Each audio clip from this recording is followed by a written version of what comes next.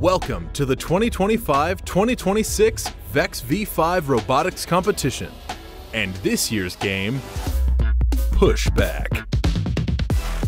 Pushback is played on a 12-foot by 12-foot field by two alliances, one red and one blue, made up of two teams each.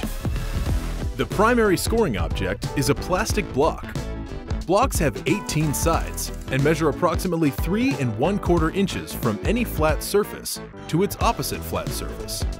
There are a total of 88 blocks in each match, 44 red and 44 blue. Blocks can be obtained either from their field starting locations or from one of the four loaders that begin pre-populated with six blocks each, three of each color. There are four scoring locations in Push Back, two long goals, one on each side of the field, and two center goals, an upper and a lower.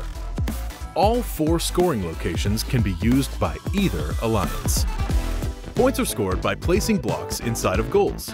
Each block scored is worth 3 points. Long goals are capable of holding up to 15 blocks, while center goals can only hold up to 7 blocks.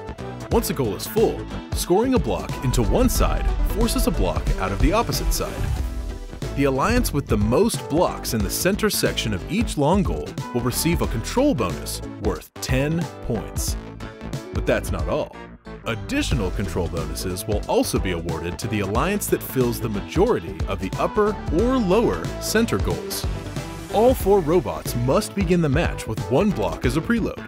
Matches begin with a 15 second autonomous period where robots operate without input from their drivers and must stay on their side of the autonomous line.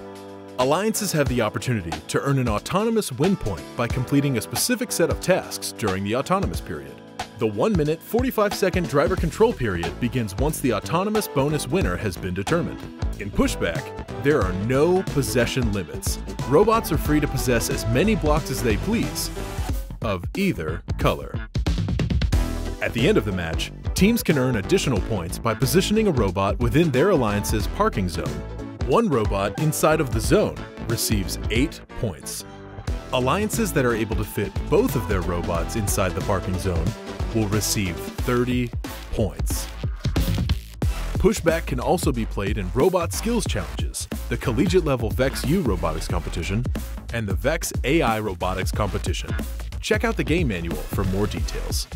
Official rules and game information for Push Back can be found at vexrobotics.com. To register a team, find events near you, or ask a question on the official Q&A, please visit robotevents.com. Good luck and have a great season.